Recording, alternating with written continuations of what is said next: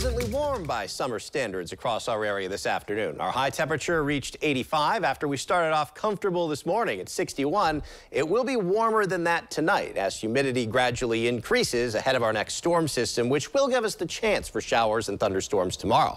But we're in the sunshine now along I-75, and at least for the next few hours, it looks to stay dry locally. On radar close to home, not much of any precipitation. Some thunderstorms well to the north in Michigan, but they are now fizzling. Again, close to home for the next few hours. We stay dry, but back to the west, there is this storm system. It's bringing showers and thunderstorms to portions of Iowa, Missouri, and Kansas. And as it moves to the east over the next 24 hours, scattered showers and thunderstorms are likely locally late tonight, but especially during the day tomorrow. Temperatures now for most of us in the mid 80s. We're 86 in Delphos, 84 in Lima, 86 to the southwest in Celina. Those dew point numbers in the mid 60s, so you can notice the humidity in the air, but as has been the case for much of the summer, it really isn't oppressive, just a tad on the muggy side.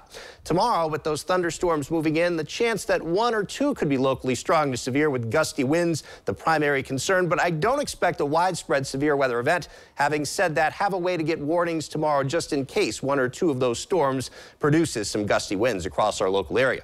Partly cloudy through this evening. Later tonight, well after midnight, the chance of some showers and thunderstorms as that storm system approaches. A better bet for scattered showers and thunderstorms during the day tomorrow. Now, it's not going to rain the entire day, but showers and storms likely from time to time. That cold front edges to the east, quieter for tomorrow night. Then Sunday looks to feature a good bit of sunshine. Still the risk of a stray shower or thunderstorm for Sunday afternoon, but much of the time Sunday will likely be precipitation free. Another cold front with another round of spotty showers and thunderstorms for Monday. Temperatures this evening settling back into the 70s by 10 p.m. 77 in Lima and in Wapakoneta. Late tonight down into the upper 60s for a low, so milder, warmer tonight compared to last night. And then tomorrow, despite clouds and occasional showers, temperatures climbing back to near 80, but with the humidity still feeling on the warm side. Again tonight, partly cloudy, that chance of a shower or thunderstorm well after midnight as temperatures fall back to 69.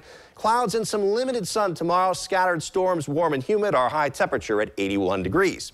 Seven-day storm authority forecast for our Sunday. We've got the sunshine. Again, that risk of a stray shower or storm, but most of the day likely won't feature rainfall. Another cold front for Monday with that scattered showers and storms. Again, a pretty good bet. We're back into ample sunshine for Tuesday, 81 degrees. Another disturbance gives us another chance for scattered showers and thunderstorms Wednesday and Thursday. Right now, next Friday looks partly sunny and comfortable by July standards with highs right around 81 degrees. Jeff.